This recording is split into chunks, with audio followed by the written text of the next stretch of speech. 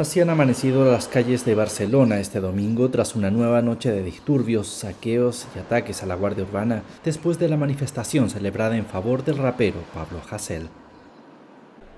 Al menos 13 personas han sido detenidas en Barcelona en los graves disturbios registrados al término de la protesta en la que han participado unas 4.000 personas, según la Guardia Urbana.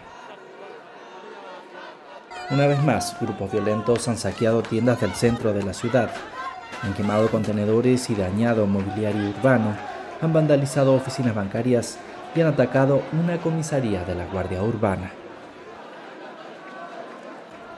Además, han provocado un incendio en uno de los edificios más emblemáticos de la ciudad, la Casa de los Paraguas, en la Rambla de Barcelona. Otras ciudades catalanas también han sido escenario de manifestaciones en apoyo a Hassel, en Sabadell y en Lleida también se han producido incidentes.